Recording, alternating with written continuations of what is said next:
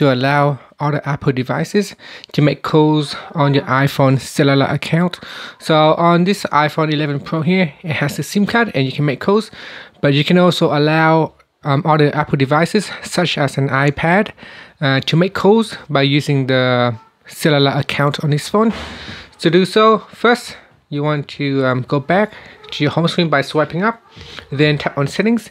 In the settings screen, tap on cellular and then um, go down and then tap on calls on other devices. Now over here there's a switch. You can just tap on it to uh, switch it on you know, and if you have any other devices that um, connected or sign into the same uh, Apple account then you can uh, basically use other devices to make calls as well. Now for other devices to work on your uh, phone, the uh, the iPhone and plus other Apple devices need to use the same Apple ID. And when you um, sign to FaceTime, they also need to use the same Apple ID. So you need to go into FaceTime and make sure they are both uh, have the same Apple ID.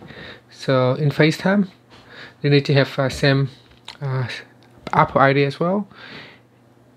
And in uh, settings, in settings you can go to FaceTime in settings and then you can um, choose to always announce call.